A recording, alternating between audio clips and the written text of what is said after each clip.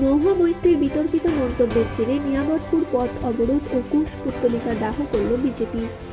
তৃণমূল সাংসদ মহুয়া মৈত্রের বিতর্কিত মন্তব্যের জেরে আন্দোলনে নামল বিজেপি। বুধবার এই ঘটনার প্রতিবাদে সন্ধ্যায় কুলটি নিয়ামতপুর মোড়ে পথ অবরোধ করে বিক্ষোভ দেখাল বিজেপি।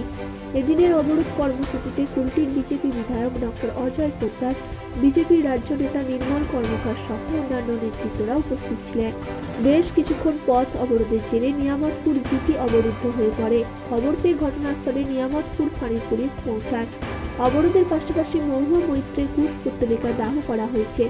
এরপর পুলিশের আশ্বাসে অবরোধ উঠে যায়। এই প্রসঙ্গে বিজেপি নেতৃত্বরা জানান তৃণমূল সাংসদ মহুয়া মৈত্র কালিমা নিয়ে বিতর্কিত মন্তব্য করেছেন।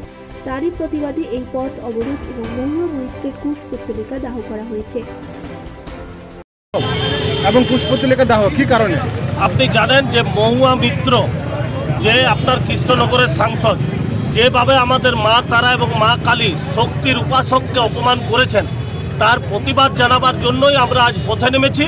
এবং আমি এই তৃণমূলের তুষ্টিকরণ রাজনীতিকে ধিক্কার জানাই এবং সমস্ত নেতাকে তৃণমূলের আমরা অনুরোধ করছি যে আপনারা ক্ষান্ত হন হিন্দুদের এইভাবে বিদ্বেষ ছড়ানোর থেকে। না হলে আমরা এই সরকার চলতে দেবো না এই স্টেট চলতে দেবো না দরকার হলে এলাকায় স্তব্ধ করে দেবো। কিন্তু হিন্দুদের ওপর যেভাবে ওনারা আক্রমণ করছেন সেটা আমরা আগামী দিনে আর বরদাস্ত করব না।